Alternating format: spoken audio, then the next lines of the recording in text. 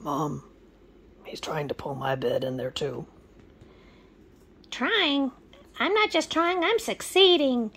I'm getting that bed in there no matter how hard I have to pull and tug and and I a big boy and ah! and and oh Mom, he just barked at me. well of course I did. You would bark at me. It'd bark too if you were trapped in there. I I, I want to be out there with you so I can so I can jump on you. Yes. You have to stay in there. This is my freedom. This is the only time I have. but I don't want to be behind bars. Let me out.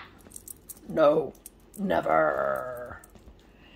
But but big brother, I want to play with you. But I don't want to play. I want to rest. But, but, big brother, come visit me. Come visit me in the jail. Nope, not happening.